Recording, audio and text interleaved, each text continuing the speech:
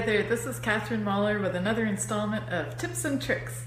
And today I want to give you three more reasons why your fiddle is squeaking. So, reason number one is that your fingers may be touching the strings too lightly. So, if you push your finger all the way down to the fingerboard,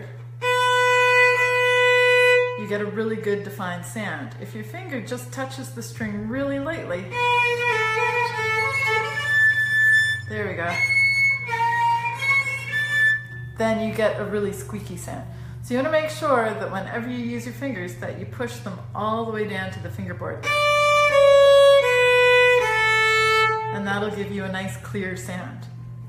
Reason number two why your fiddle may be squeaking is that your bow may actually be hitting another string while you're trying to play.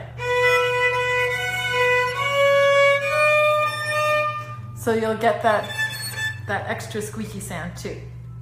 So Reason number one, your fingers may be touching the string too lightly. Reason number two, your bow may actually be hitting another string.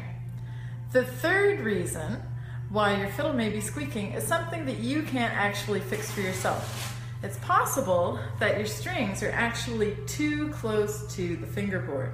So if the nut, if this part of the violin is worn down, or if your bridge is not fit correctly, then your strings may actually be hitting the fingerboard as you're playing, and that can cause squeaking.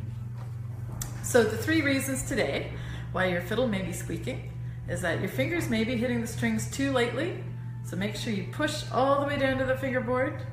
Your bow may be hitting another string while you play, or you may need to take your violin in to get it set up properly.